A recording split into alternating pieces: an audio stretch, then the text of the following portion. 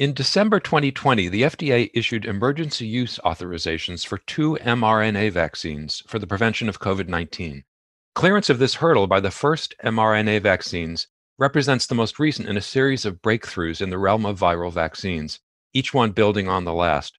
I'm Stephen Morrissey, managing editor of the New England Journal of Medicine, and I'm talking with Paul Offit, director of the Vaccine Education Center and professor of pediatrics in the Division of Infectious Diseases at Children's Hospital of Philadelphia.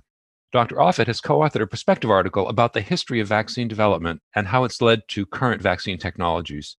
Dr. Offit, in your perspective article, you discuss advances in the development of viral vaccines, beginning with Edward Jenner's discovery that cowpox protected against smallpox. So, how has our understanding of viruses changed with the progress in this vaccine technology? Well, in one way, that we actually now know what viruses are. I think certainly Edward Jenner didn't know that. He was working in the late 1700s. The term virus was just a non-specific word for a poison. He was just doing phenomenology at its best. He knew that milkmaids that milked cows that had blisters on their udders could get blisters on their hands, and that when they did, that when smallpox would sweep across the southern English countryside every two to three years, milkmaids wouldn't get smallpox. Hence, milkmaids have fair skin. And so he basically just took the pus from a woman who had milk cows, who had these blisters on her wrists, and then inoculated into people and found that it worked. He didn't know what viruses were. So we gotten better. Now we know what they are and made a series of vaccines since and that are much cleaner and safer and purer than the vaccine that Dr. Jenner made. So as you say in your article, every strategy that's ever been used to make vaccines is being advanced against SARS CoV 2. Of all of that, which of these existing strategies has shown the most promise?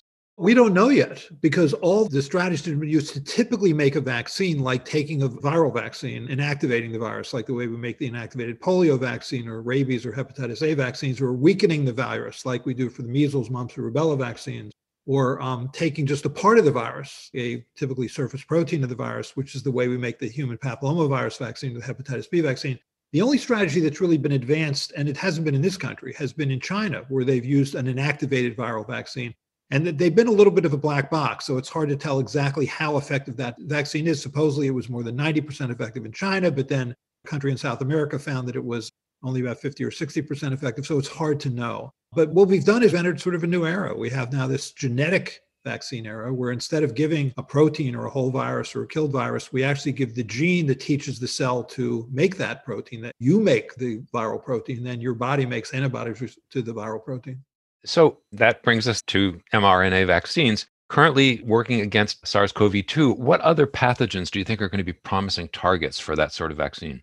No, it's really an amazing story. I mean, we only had the SARS CoV 2 virus in hand and sequenced in January of 2020. And within 11 months, we've had two large clinical trials showing that the mRNA technology, one for which we had no commercial experience for any vaccine, was highly effective. And now we know that at least these mRNA vaccines given to tens of millions of people appear to be safe. I think that the sky's the limit. We're going to learn a lot about this technology. And certainly it's now being applied to see whether or not we can make a human immunodeficiency virus vaccine or a malaria vaccine or a better tuberculosis vaccine or a universal flu vaccine. I think we'll learn a lot about this technology. And, and not only that, I think the mRNA technology also will advance things like cancer treatments, will serve as gene therapies. It's really a remarkable accomplishment. Overall, how do you think the process of COVID 19 vaccine research and development is going to end up altering the field of vaccinology over the long term? I think we've entered the new era, the genetic vaccine era. And so now we've had what I think we'll probably look back on this 10, 20, 30 years from now and see this as a fairly crude way to offer the genes, to use a viral vector, a human or simian adenoviral vector, to give just a simple mRNA. I think we'll get better and better at this genetic approach. And it is a new era. This breaks new ground. I mean, you could argue that the first real genetic vaccine, in a sense, was the Ebola vaccine, Johnson & Johnson's replication defective human adenovirus 26 Ebola vaccine. That was really the first vaccine. So we had some experience, at least in West Africa, with that vaccine. But we're going to learn a lot about this and we'll get better and better at it. It will be interesting to see what happens over the next 10, 20 years. Despite the progress we've seen in the United States and in other countries, you say in your article that the full benefits of these existing vaccines have yet to be realized throughout the world. Do you think that the COVID 19 vaccination programs that are currently being developed are going to end up facilitating access to other vaccines? How can we capitalize on the current opportunities promoting global vaccination more generally? No, that's a great question. And it's critical. you're only as strong as the weakest country out there. I mean, how much more information do we need that what happens in one country can affect the world? And remember, of the 194 countries currently on this face of this earth, about 130 have not given a single dose of vaccine.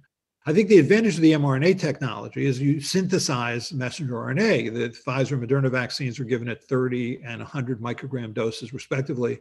A microgram is a millionth of a gram. You can synthesize kilograms. That's thousands of grams. That's a nine log difference. So you really can vaccinate the seven or eight billion people in this world with an mRNA vaccine. You could do that.